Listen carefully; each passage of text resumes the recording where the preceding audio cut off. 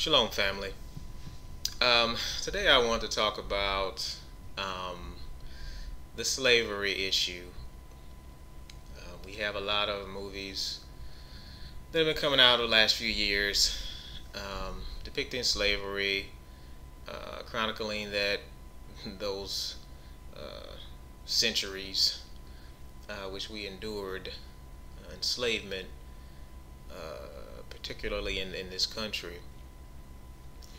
And um, I just wanted to kind of break that down and point out what I believe is, is the underlying reason for all of these movies that we are continuing to see. You know, series, movies, remakes, all kinds of things have been um, coming out on television and the big screen.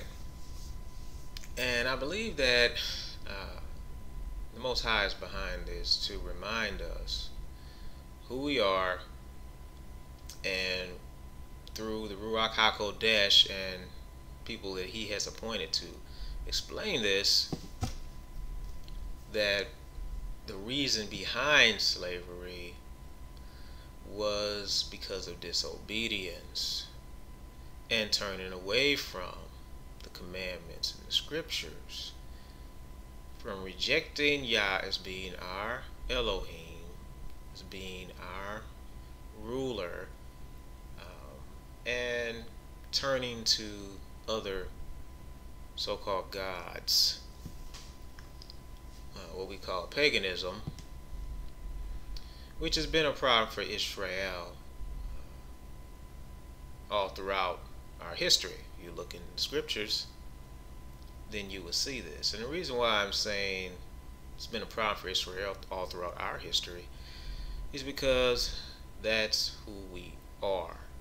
The so called Negroes, the so called descendants of slaves, um, are Israelites. Um, and if you, you have doubts about this, instead of getting angry or laughing it off or um, you know calling somebody crazy, why don't you research it for yourself? Um, Deuteronomy 28th chapter, starting at verse 15. Why don't you go and read those scriptures and pray for understanding? You will see that there is no other group on earth that has endured what is in those scriptures. That slavery and the legacy that it has left upon us, that people tell us to get over, we will never get over until we turn back to the Most High. We have to turn back to Yah and turn away from this wickedness in order for us to get our true reparations, which is the blessings and protections and power that is promised us, his chosen people, if we obey him. Now, the scriptures teach us in these last days that Yah is awakening his people. He is calling them from the four corners of the earth to reestablish them, the northern kingdom and the southern, to reunite them, Judah and Israel, together in one kingdom as we were long ago. Uh, this continued paganism, these pagan practices, and this wickedness is continually keeping us separated from the Most High. And all of these slavery films is a constant reminder to us. It's not for anybody else. It's not for anybody else. I mean, our oppressors and the offspring and descendants of our oppressors are not going to change anything. No laws will be created to uh, make this right. Um, you know, there'll be some guilt, there'll be some anger, or whatever, but nothing's going to change because of these films. And no law will be created that will change anything because this is a spiritual matter. This is a matter between Israel and Yah. Nobody else. Our oppressors, those who are um, seeking to destroy us, because they are, Yah Himself will deal with. We have to wholeheartedly turn to Yahuwah. And if you look at the state, our spiritual state as a whole today, it is in ruins.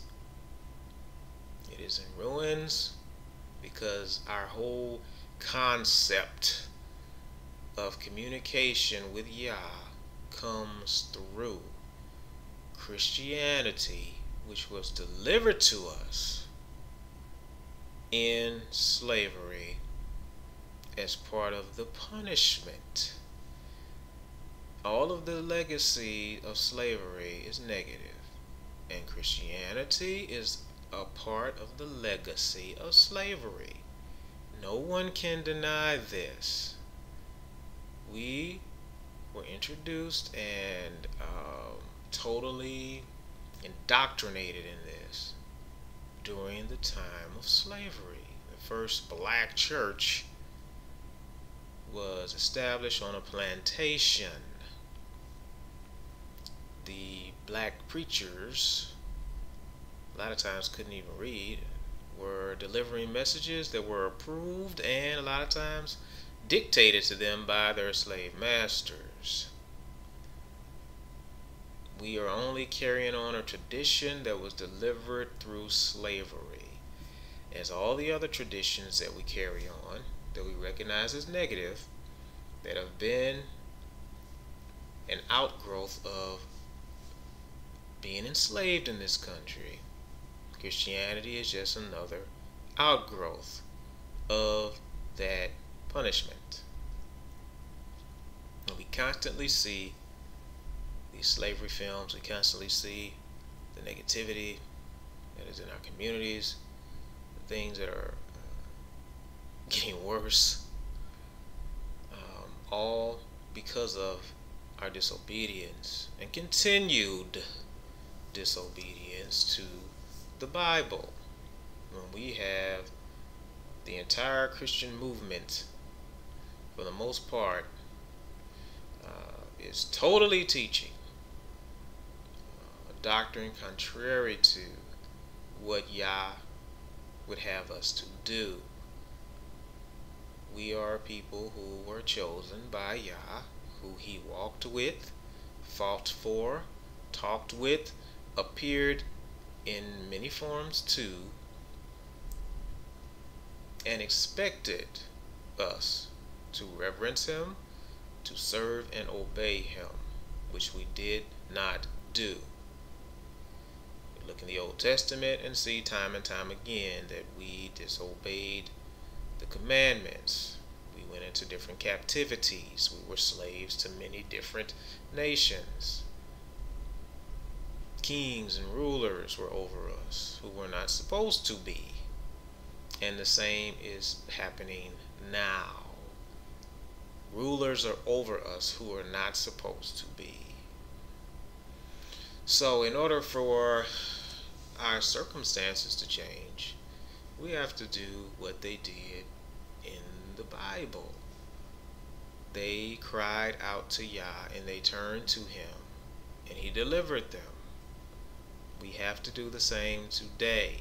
We have to cry out to Yah, turn back to Him, and He will deliver us because it's all in the prophets that He will gather us up. He's waking us up now. And many people, unfortunately, our own brothers and sisters who are in Christianity are looking at us as wackos, nut jobs, crazy, and in some kind of cult because we believe and understand our nationality and our heritage and understand the true names of the Father and Son, the true power that we should be yielding and we should uh, have in our lives.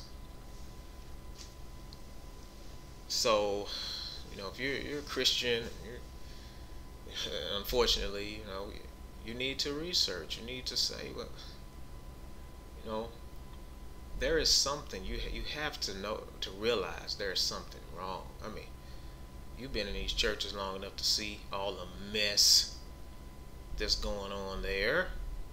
All of the backbiting, backstabbing, lying, whoring around, wickedness, perversion, right in front of you. You know what I'm talking about. Because people just keep it a secret. You know, it's a dirty little secret. Little things that go on. You're looking at the pastor like, really? Yet you come again in the following week. We can't live like this. We are never going to get over slavery, never going to get over the legacy of slavery unless we turn back to our Creator. Understand that the Bible is your book written by your people for you, Negroes. If you understand this, then it will make perfect sense. What has happened to us and what's happening to us now. No politician going to fix anything. No laws will be created that will fix anything that Yah himself has judged against you. You cannot lift his hand off of you through legislation. You lift his hand off of you through obedience you repent of your sins truthfully and wholeheartedly, not with an understanding that you're going to do continue to live this way and just try that you will actually be a doer of the word, the word that was written for you. No one else really even cared about the scriptures and and Israel. I mean, they were doing their own thing. Constantine was doing his own thing. He wanted to unify the people in his, you know, rulership under his rulership, and they were all pagan. So decided to use the scriptures and make some changes here and there. To create this deity and give him a name that they all would agree to, because of course they worship Zeus and different pagan deities and the SUS on the end of the name of Jesus or Jesus or, or Isus just means Zeus. Now to bring them all together instead of Yahushua, which means the salvation of Yah or Yahshua for short, they changed that name and then an image was attached to that name this is our main problem and has resulted, as I say time and time again, in our downfall. It continues to keep us in bondage. So you're going to keep seeing these slave movies and you're going to keep seeing things in media and so on and so forth that are going on in our lives that are negative. Yes, there's some positive stuff happening that you never see. Yes, yes, yes but the negative will be accentuated because the, this is a result of our disobedience. Because if the negative wasn't happening, they couldn't show it. And we should be a people, a righteous people, an obedient people to that scripture, a people who are feared because Yah is with us, not because they think we're going to shoot them rob them, but because Yah is with us and has shown himself strong on our behalf, this will occur if we turn back to him. So again, I, I encourage you to study Deuteronomy 28, starting at verse 15. This is will chronicle our life and our plight, um, presently and historically. See, wait a minute, this matches what we're going through. Pray for understanding. Don't disregard because you just so brainwashed that you just believe that you know us little old heathens uh, that the Most High gonna accept us in too, and all we're so grateful that we were slaves, so we can get introduced to Jesus. That's garbage. You are the people of the book The book was hijacked and other people took it and trying to make it their own and try to kick you out of it. and present it to you as if this is some uh, you know Christian thing they're doing. They didn't want us to read or write. Didn't want us to be free. Didn't want us to, to, to even learn anything. And they sure didn't believe that we were going to be in the same heaven as them. You know, Christianity was not given to us to be obedient to Yah. They weaponized it to be obedient to them.